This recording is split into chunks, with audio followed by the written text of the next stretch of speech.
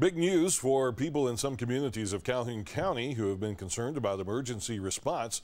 Thanks for joining us. I'm Carl Brady. Anniston EMS and Piedmont Fire and Rescue are splitting response areas that Jacksonville Fire and Rescue recently dropped.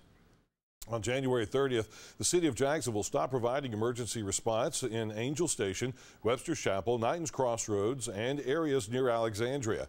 After meeting with Calhoun County 911 officials, Anniston EMS will cover the western half and Piedmont will cover the eastern half of that area. Calhoun County 911 Director Kevin Jenkins says the deal will not change much for people in those affected communities.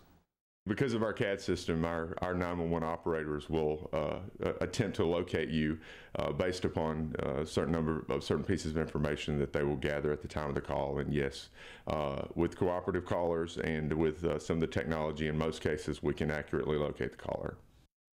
Anniston EMS and Piedmont Rescue will take over those areas this coming Sunday.